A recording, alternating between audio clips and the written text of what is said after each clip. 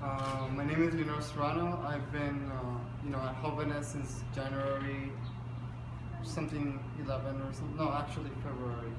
February.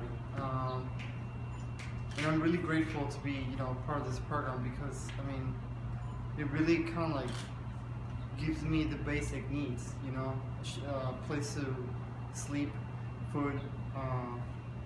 But of course, there is some, there are some responsibilities, you know, like cleaning the kitchen, uh, cleaning the stove, whatever needs to be done. Uh, but I'm really grateful. I mean, uh, right now I'm in high school. I'm finishing my senior year.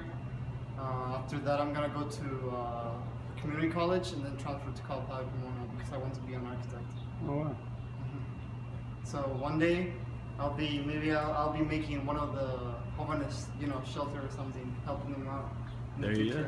You just put it out there. Mhm. Beautiful. We're looking forward for it. All right. Awesome. Just believe in yourself.